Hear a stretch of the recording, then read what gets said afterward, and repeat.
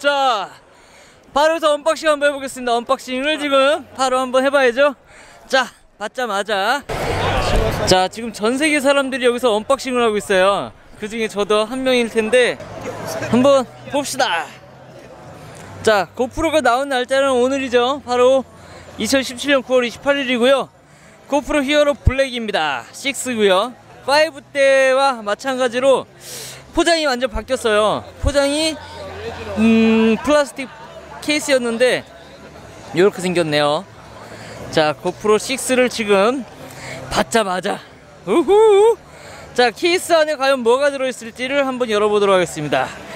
아우 야우 와우 우 와우.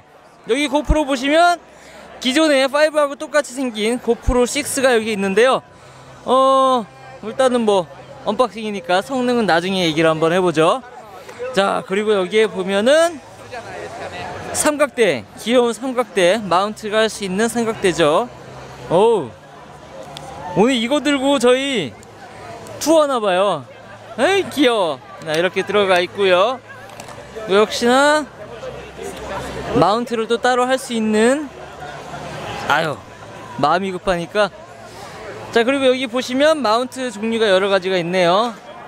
붙일 수 있는 마운트 오 메모리 카드까지. 어우 센스쟁이들. 자 메모리 카드도 여기 지금 들어가 있어서 바로 스마트폰에 연결해 가지고 쓸 수도 있고요. 여기 보시면 음.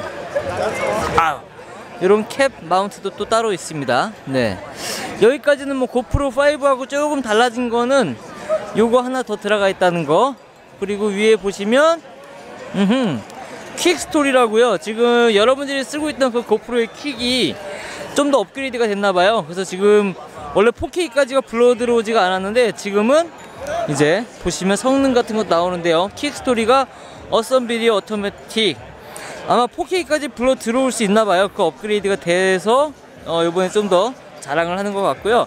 4K 60p가 됩니다. 이번에 아이폰 그리고 Note V30가 다 표준화가 되고 있는데요.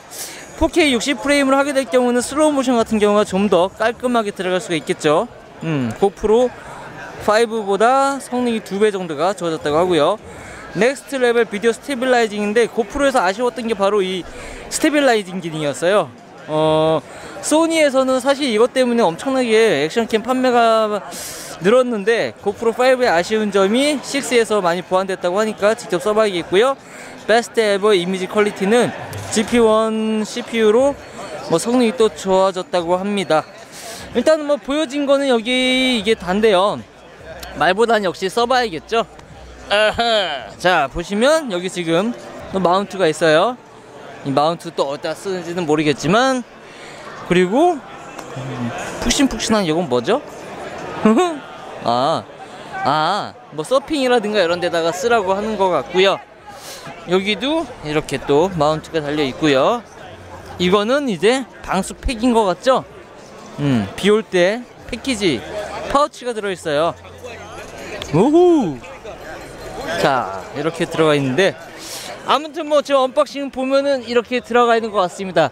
지금 전 세계 사람들이 unboxing을 지금 올리고 있을 것 같아요. 지금 저도 여기서 지금 받자마자 만들고 있는데 어, 인터넷만 되면은 진짜 빨리 올릴 수 있는데 어쨌든 GoPro 6 여기까지 unboxing을 해봤고요.